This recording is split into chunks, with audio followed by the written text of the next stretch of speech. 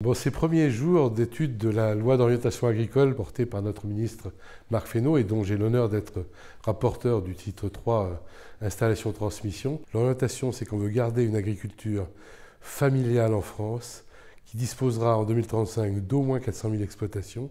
Et pour y arriver, il faut qu'on soit capable de renouveler un pour un les générations d'agriculteurs.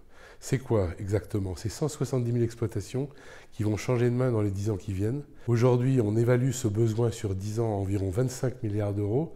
Et 25 milliards d'euros pour des jeunes agriculteurs, c'est-à-dire des rachats de 500 000 à 1 million d'euros la ferme, c'est pas possible sans le soutien de la, puissance publique et des fonds publics. On a la chance d'avoir euh, des banques publiques dans le groupe de la Caisse des dépôts qui ont tous les moyens pour pouvoir porter à l'aide des financements privés de nouveaux agriculteurs dans notre euh, beau pays. Ce projet de loi propose en article 9 un diagnostic qui permet à la fois aux cédants et aux entrants d'évaluer l'exploitation agricole dans ses composantes euh, économiques, environnementales et sociales. Diagnostic qui a été voulu par les nouvelles générations d'agriculteurs pour se préparer au changement climatique que l'on mesure déjà aujourd'hui. Ça veut dire aussi que les nouvelles générations d'agriculteurs ne pratiqueront pas la même agriculture que leurs parents ou que leurs ancêtres. On devra appuyer la transition agroécologique que l'on veut pour nos sols, pour notre ferme, pour nos produits,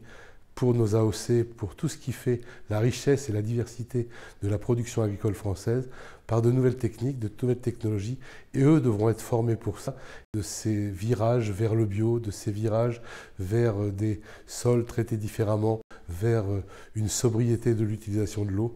Tout ça, ça va dans le, dans le package. Au cœur du dispositif voulu par cette loi, il y a le guichet unique France Service Agriculture. C'est nouveau, les chambres d'agriculture abriteront un répertoire unique de tous les gens qui veulent céder leur exploitation dans les 5 ans et de tous les nouveaux porteurs de projets. Dans ce lieu de rencontre, qui devrait être la, la pierre angulaire du nouveau dispositif, on espère justement pouvoir assurer ce renouvellement un pour un.